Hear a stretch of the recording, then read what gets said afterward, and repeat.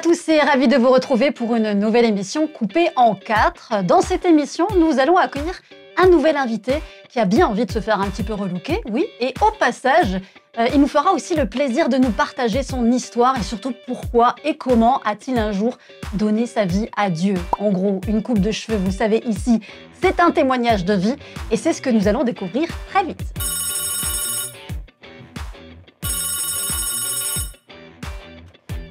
Coiffure coupée en quatre, bonjour. Oui, c'est pour une coupe homme, parfait. Une coupe euh, modèle ou une coupe surprise? Une coupe modèle. À quel nom? David Nolan. Ok, bah c'est parfait, je vous attends. À tout de suite.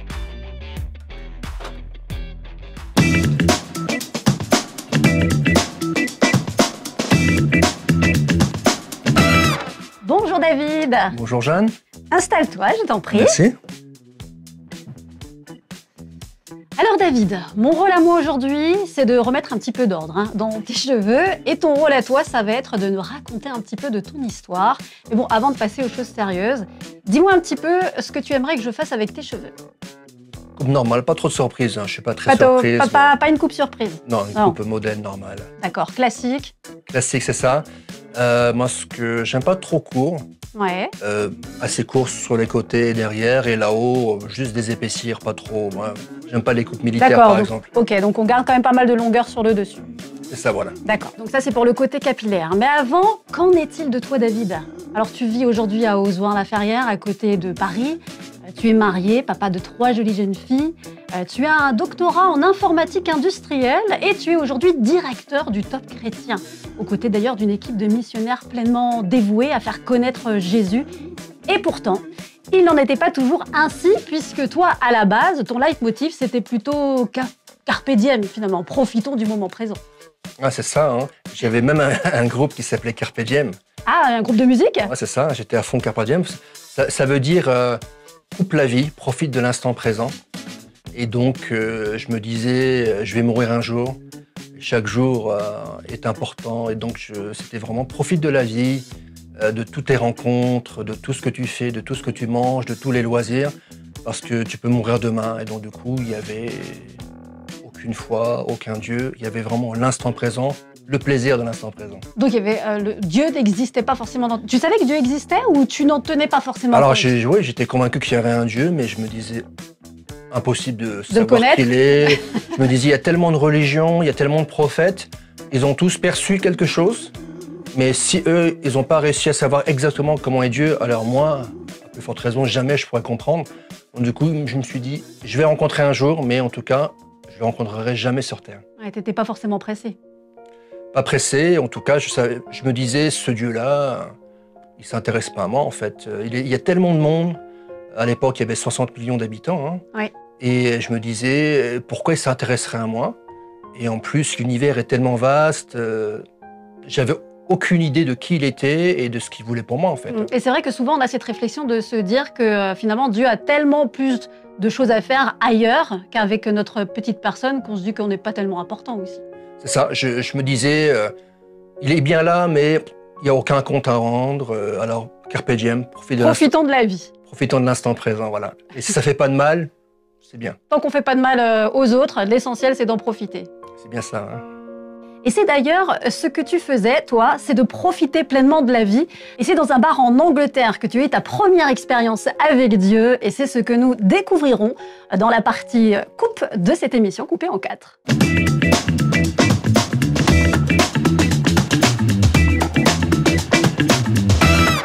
Coupé en quatre, ça continue avec notre invité David Nolan, missionnaire sur Internet, directeur du Top Chrétien et pleinement engagé à faire connaître Jésus autour de toi. Et pourtant, il a fallu que Jésus vienne à toi, à ta rencontre, un soir dans un bar pour que tu comprennes qu'il était bien plus accessible finalement que tu ne le pensais. Ouais, c'est ça. Donc en 1997, euh, je me retrouve à faire des études en Angleterre et avec toujours la devise Carpe Diem. Mhm. Mais ce qui se passe, c'est que le Carpe Diem, là, il avait plus beaucoup de force, euh, profite de l'instant présent, des plaisirs présents. Je me retrouve sans amis, sans famille, et je me retrouve dans un contexte où j'arrive plus à parler la langue. Je pensais que je maîtrisais l'anglais, et là, j'étais paumé. Donc, je me retrouve en train de profiter des, plaisirs, donc euh, la boisson, la cigarette, et on était avec des Français dans un bar, on était tous déprimés, on n'arrivait pas à s'exprimer.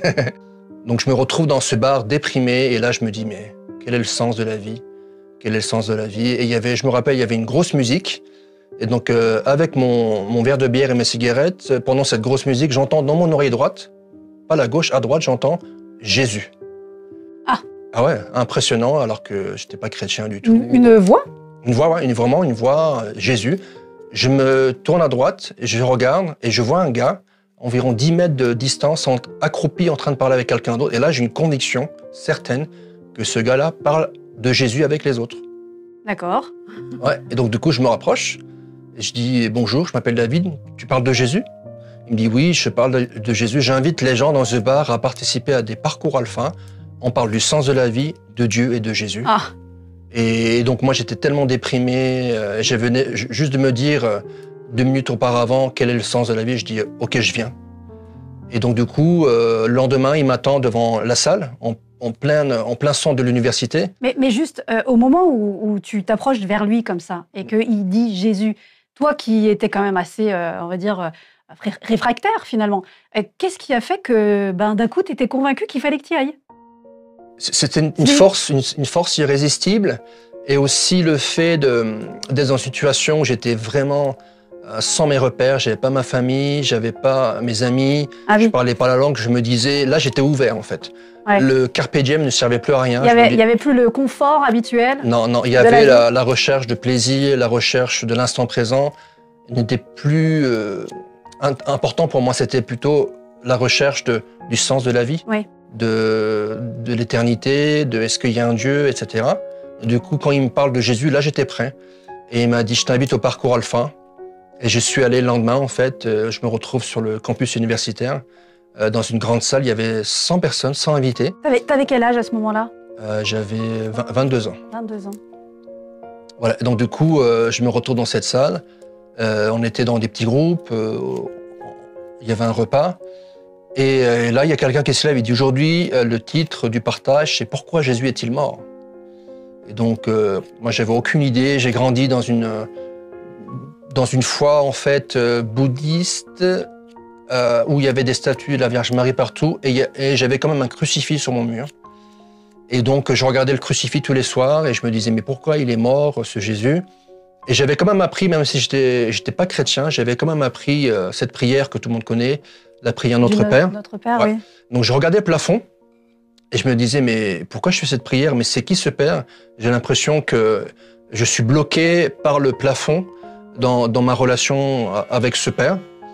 Et je regardais toujours à gauche euh, le crucifix, je disais, mais pourquoi ce Jésus est-il mort? Je n'ai aucune idée. Et là, pendant le parcours alpha, eh ben, le gars, il se lève et il dit, Jésus, pourquoi il est mort? Et là, en deux phrases, il, euh, me projette euh, en Normandie où je, je faisais cette prière. Il dit, Jésus, il est mort pour que par sa mort, eh ben, il puisse prendre nos fautes afin de faire un chemin vers le Père. Et là, quand il dit ça, le, un miracle se produit. Je, je me, re- je me vois en vision euh, sur mon lit en Normandie en, cette en train de faire cette prière. Et là, je regarde vers le, le ciel et le plafond n'était plus là. Il n'y avait plus de plafond. Et j'avais la compréhension que j'avais plus de plafond, plus de séparation avec ce Dieu, ce Père, grâce à ce que Jésus avait fait en fait.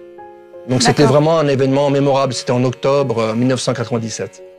Donc en fait, il y avait carrément plus de. Enfin, c'est-à-dire que tu as levé, la... t'as levé la tête et tu voyais plus le plafond, tu voyais juste le ciel. C'est ça. Et donc, euh, du coup, en un instant, euh, ce Dieu qui était plutôt une théorie Pas accessible en plus. ouais, as- abstrait, qui s'intéressait pas à moi, j'ai compris en un instant qu'il se souciait de moi et qu'il avait un amour infini pour moi parce qu'il avait prouvé en, en envoyant son fils, en voyant Jésus mourir pour moi. Et c'était c'était plus qu'une compréhension intellectuelle. J'ai vraiment senti un flot d'amour entrer dans mon cœur. Mm. Et surtout, la chose qui a changé, c'est une paix indescriptible. J'ai ressenti une paix incroyable et vraiment une paix avec Dieu, une paix avec le ciel. Et c'était le, je pourrais dire, le plus beau jour de ma vie en fait. C'est vrai que souvent les gens nous disent, euh, ils ont du mal à comprendre finalement euh, comment euh, est-ce que d'un coup on peut prendre cette décision. Mais sur tous les témoignages que j'ai pu entendre jusqu'à présent, toutes les personnes nous disent la même chose, c'est cette paix et cette joie euh, et cet amour finalement qui, qui nous remplit d'un coup, qui est finalement, c'est vrai, surnaturel parce qu'on l'a encore jamais vécu. Ouais, c'est ça. C'est souvent les gens imaginent euh, le christianisme comme une, une religion. Il faut faire des choses, Mhm. mais c'est principalement une relation. Oui. Et c'est bien sûr, euh, on a un pas à faire, mais c'est principalement Dieu, le Papa dans le ciel, qui fait un pas vers nous. Et il a déjà fait au travers de Jésus, et donc du coup, on n'a plus grand chose à faire. On a juste à recevoir, Mhm. Accepter, et de- du coup, quand on reçoit, en fait, on, on ressent cette paix, on ressent cet amour, et c'est le, le plus important, en fait. Et tout le reste découle de ça, en fait. Donc en fait, David, hein, ta rencontre avec Dieu, elle s'est faite euh, bah, comme ça, un peu d'un instant à l'autre. Et pourtant, quelque chose de beaucoup moins limpide allait s'imposer à toi, c'est de te défaire de tes mauvaises habitudes. Est-ce que à ce moment-là, on pouvait parler euh, d'une forme d'addiction, finalement? Oui, alors, euh, Carpe diem veut dire recherche de l'instant présent, des plaisirs Oui. Instantanés, sans chercher forcément à blesser l'autre, mais du coup, euh, j'avais des relations sans lendemain.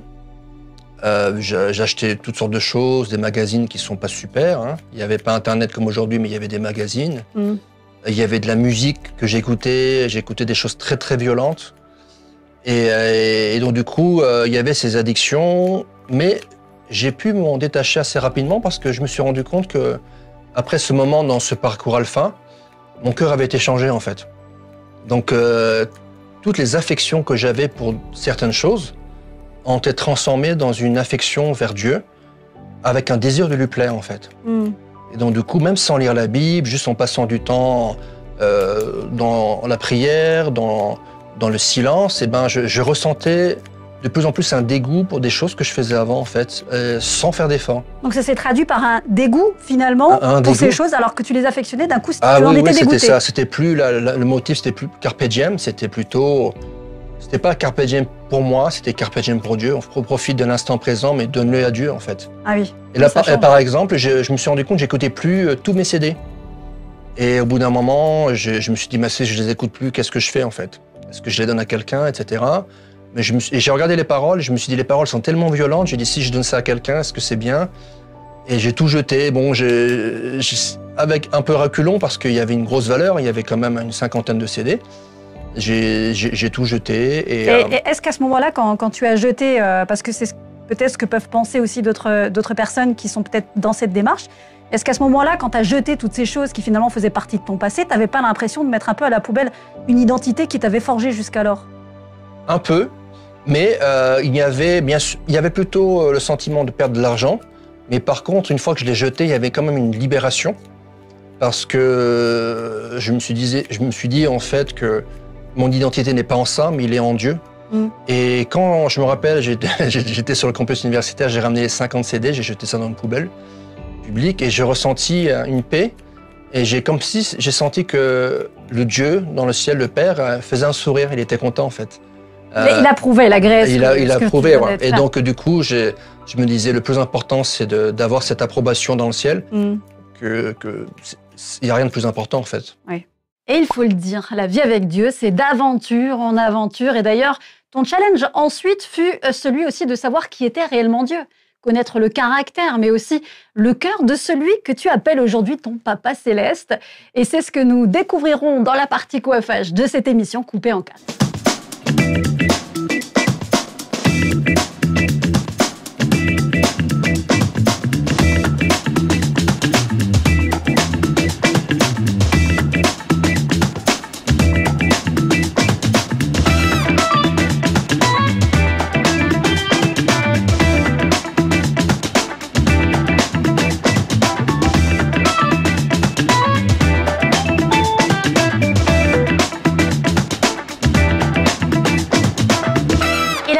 euh, continue dans cette émission coupée en quatre avec euh, notre invité David Nolan. Une coupe de cheveux pour un témoignage deux fois toujours aussi surprenant. Car chaque histoire est unique. Et toi, David, lorsque tu as donné ton cœur à Jésus, ton plus grand défi, c'était tout d'abord de savoir qui est vraiment celui que tu appelles aujourd'hui le Papa Céleste. Oui, alors, euh, du coup, j'avais cette expérience incroyable, une paix surnaturelle. Et, et euh, Marc, qui m'a invité, là, il m'a offert une Bible euh, en anglais. Et après, donc, euh, je ne comprenais pas grand-chose. Donc, euh, j'ai rencontré une Française qui m'a donné une Bible en français. Et là, j'ai commencé à comprendre. Et elle m'a montré quelques passages clés. Et euh, il y avait un passage qui m'a marqué, c'est quand C'est Jean 17.3, il y a écrit La vie éternelle, la vie pour toujours, c'est de connaître celui qu'il a envoyé, Jésus-Christ, et aussi le, Dieu qui, a envoyé en fait les deux personnes, le Père et le Fils. Et donc du coup, je me suis dit, bon, je vais passer des temps dans la prière. J'ai commencé à consacrer au départ 15 minutes, ensuite 30, tous les matins, à prier.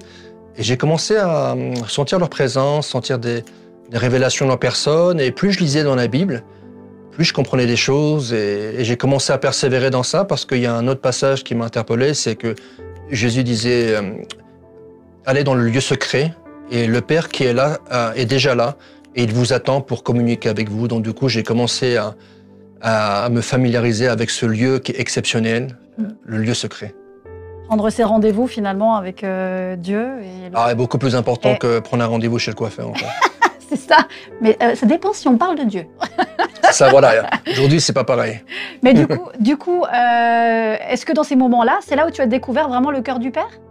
C'est ça, hein, parce que j'ai vraiment senti, donc, euh, non seulement en lisant la Bible, mais au, travers de ce qu'il qui me montrait dans la prière, qu'il avait vraiment un cœur d'amour incroyable, non seulement pour moi, mais pour le monde entier, en fait. Mm-hmm.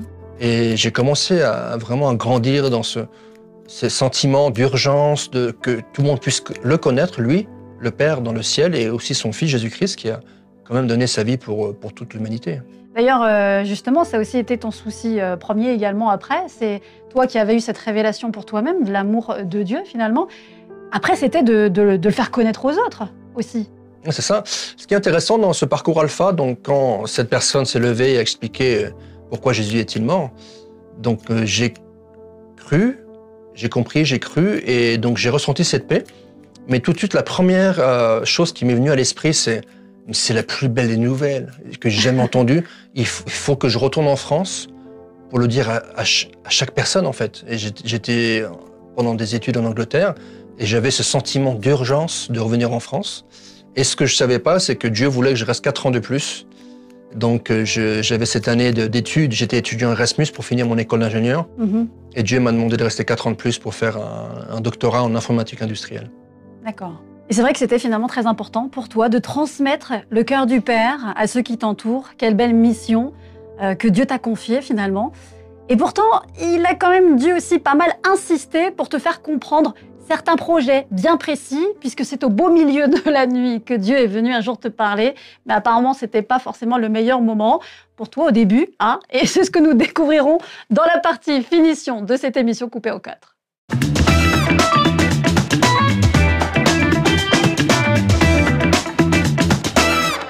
Poursuit on finalise notre coupe de cheveux, mais aussi ton témoignage, David Nolan, directeur du Top Chrétien. Après une révélation immense de l'amour de Dieu pour toi, il t'a confié la mission de transmettre cet amour, mais aussi d'aider ceux qui le reçoivent à le mettre en action, en pratique. Et pourtant, c'était quand tu étais dans, un, dans, une totale, on va dire, inaction, que Dieu est finalement venu te parler. Oui, alors, euh, donc, du coup, après mes études en Angleterre, je reviens en France. Et je, rejoins Eric Sellarier, le fondateur de Top Chrétien, pour développer cette magnifique œuvre. Et donc, du coup, on, on développe des outils, des sites comme connaîtredieu.com, topchrétien.com. On a beaucoup de vidéos, on a des belles choses, etc. Et je sentais qu'il manquait quelque chose, en fait. Je me disais, ça serait bien que ça aille plus vite, que la France soit changée, etc. Et euh, vous savez qu'en 2020, la crise arrive, la crise sanitaire avec le Covid en France et je chope le Covid, je me retrouve même à l'hôpital. Euh, incapable de respirer, je reste quatre jours, je ressors de l'hôpital et je me retrouve chez moi euh, en train de réfléchir euh, sur l'avenir du top, etc. Et je vais me coucher.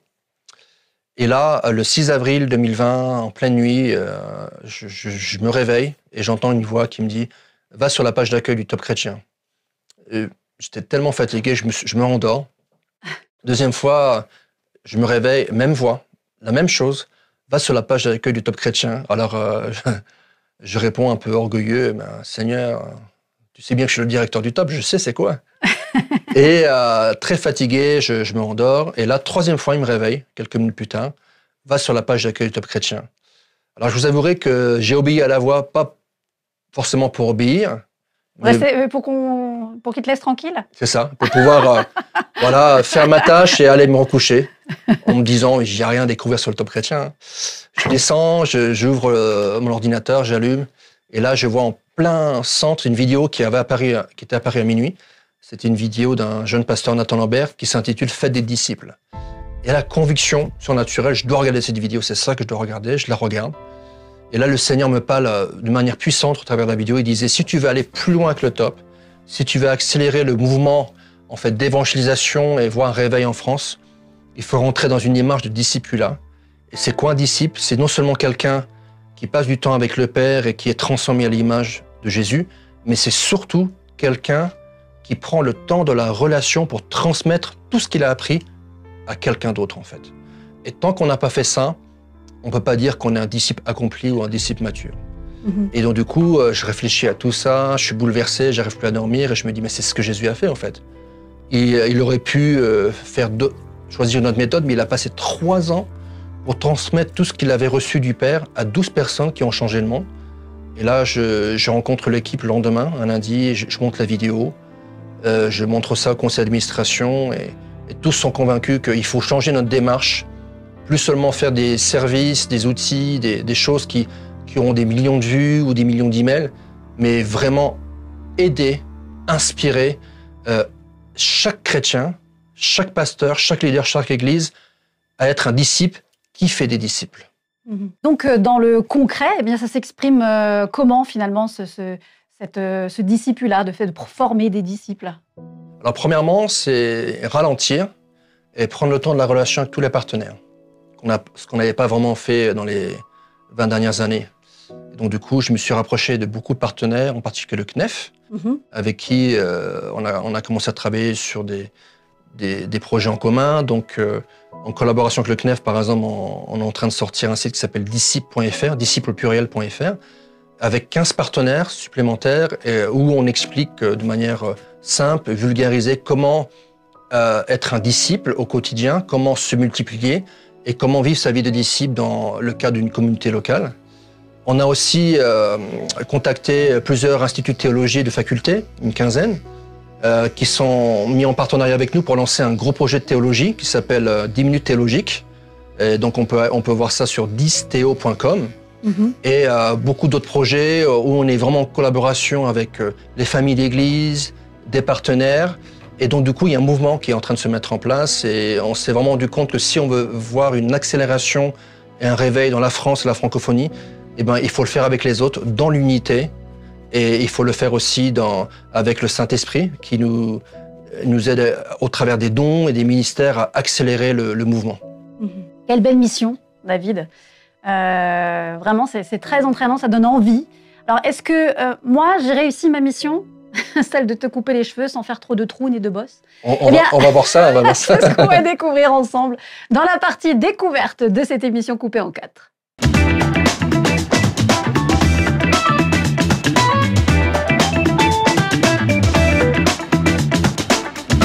Nous voici à présent pour la dernière partie de cette émission, c'est la partie découverte. Alors euh, David, est-ce que tu es prêt, ça y est, à te découvrir? Ah oui, j'ai hâte. Hein. Alors attention, c'est parti. Et pas mal, hein, ça déchire. Hein T'as vu ça? Ah, Ça te va bien? Ah, ça me va bien. Alors tu vois, j'ai fait comme tu m'as demandé. J'ai bien raccourci les côtés. J'ai fait même comme ta femme m'a demandé. C'est ça, ouais. trop toucher le dessus, afin que vraiment ça puisse être harmonieux avec ton visage. J'aime bien, hein, ça... me trouve beau maintenant. Bah, moi aussi. Merci beaucoup David en tout cas pour ta confiance. Et moi la question que j'ai envie de te poser aussi maintenant, c'est euh, si maintenant tu as envie de, laisser quelque chose à ceux qui nous écoutent depuis le début de cette émission, un conseil que tu aimerais leur prodiguer, ce serait lequel? Alors comme vous l'avez vu dans ce temps, en fait il y a deux mots qui sont ressortis, qui sont chers à mon cœur. Premièrement c'est lieu secret, deuxièmement c'est discipula. Alors vraiment mon conseil, c'est de mettre Dieu à l'épreuve. Peut-être que vous n'êtes pas habitué à avoir un temps régulier avec Dieu essayez tous les jours pendant quelques mois, pendant, on va dire un mois. Si c'est cinq minutes, c'est bien. Après, essayez de doubler. Et vous allez voir que plus vous faites un, quand vous allez faire un pas vers Dieu, le Papa, et eh ben, il va faire un pas vers vous et vous allez sentir une présence surnaturelle. C'est premièrement le secret. Deuxièmement, c'est discipula. Mettez Dieu à l'épreuve aussi. Vous dites, euh, Saint-Esprit, montre-moi la personne que tu m'as envoyée et consacrez du temps régulier avec cette personne pendant un an. Je vous mets au défi de faire ces deux choses et vous allez voir des choses incroyables euh, dans votre vie. Mm. Je vous dis à bientôt. Merci beaucoup David pour ce très bon conseil. Arrive aussi ce moment où moi aussi je vous mets euh, au défi, au défi justement d'aller parler à quelqu'un de Jésus.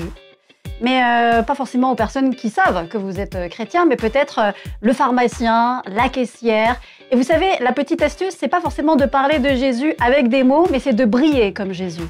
Parfois, euh, quand on lui ressemble, eh bien, les gens s'interrogent et ils viennent d'eux-mêmes vous poser les questions. Moi, c'est le défi que je vous lance aussi cette semaine. Merci encore, David, Merci Jeanne. Et je, Pour, reviens- euh, je reviendrai. de briller comme tu brilles aujourd'hui. Et puis, euh, ben, je vous donne rendez-vous également sur euh, nos réseaux sociaux. Euh, bien, tout simplement la page Facebook du Top Chrétien pour cette émission coupée en quatre ou encore notre compte Instagram, notre compte TikTok et bien sûr vous abonner également à la chaîne euh, YouTube. Et puis, je vous donne rendez-vous pour une nouvelle émission et bien sûr aussi un nouvel invité. Bye bye Bye bye.